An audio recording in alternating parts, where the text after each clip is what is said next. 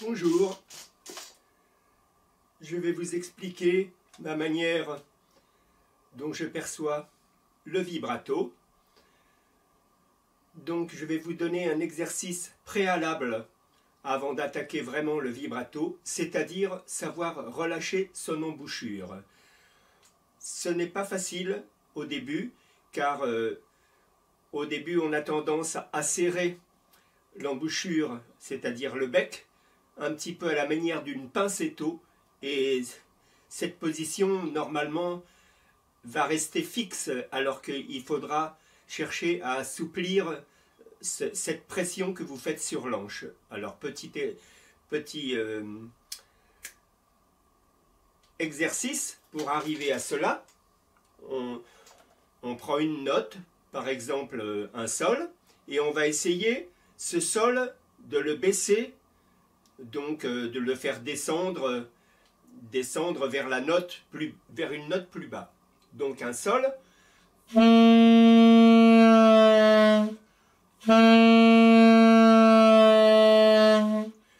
Alors plus on va jouer dans l'aigu, plus on pourra descendre la note. En jouant un si à l'octave, on pourra quasiment descendre cette note d'un ton entier, c'est-à-dire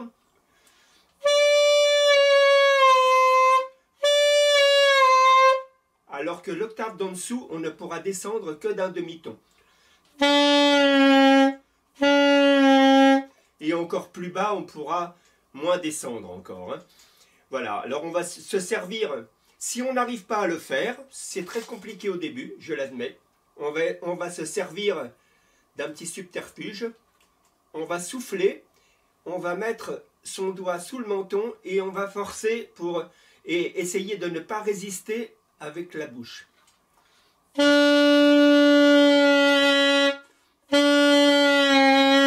Ensuite, on va essayer de le faire sans le doigt.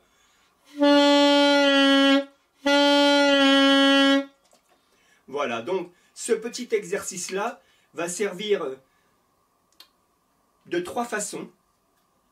Déjà de relâcher l'embouchure quand on joue pour ne pas serrer plus qu'il ne faut et de libérer la sonorité de l'anche. La deuxième euh, euh, application de cette méthode, ça va être d'attaquer les notes en dessous pour, s'apparenter un petit peu à l'interprétation d'un chanteur. Je vais vous jouer un petit morceau sans employer ce, cette méthode et après en l'employant. Voilà, un morceau de David Sanborn.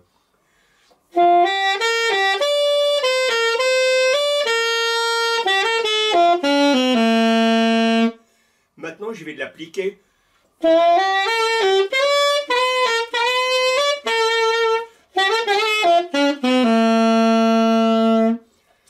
On pourrait dire qu'il n'y a pas photo.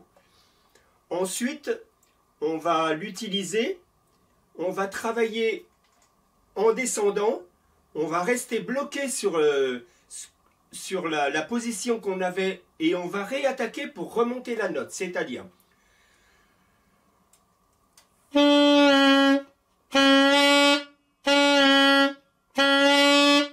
Voilà, ça, c'est pas facile à faire, je l'avoue, mais ça mérite d'essayer. Et d'y arriver, bien sûr. Après, euh, j'en suis où? Oui, on va, on va passer à ce fameux vibrato. Donc le vibrato, on va, on va souffler une note droite.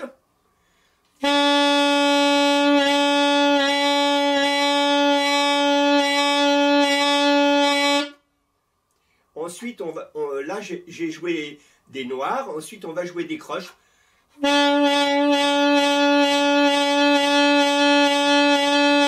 On va bien sûr moins creuser le son que dans les exercices d'avant. Ensuite, on va passer en triolet de, de croche.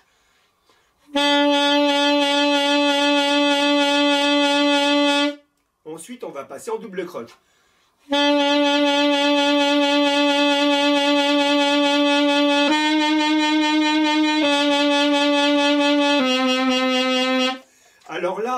On obtient quelque chose de très mécanique, mais ce côté mécanique, normalement, doit s'effacer quand on va jouer un morceau. Il va devenir beaucoup plus naturel. Mais on est obligé de passer par là. Voilà, donc euh, lisez mes petites notes euh, que j'ai mis en plus, euh, que j'ai écrit. Et puis si vous avez des questions à me poser, ça sera avec plaisir. Voilà, je vous souhaite un bon travail et, que cette petite tuto vous, vous intéresse. Au revoir, à très bientôt.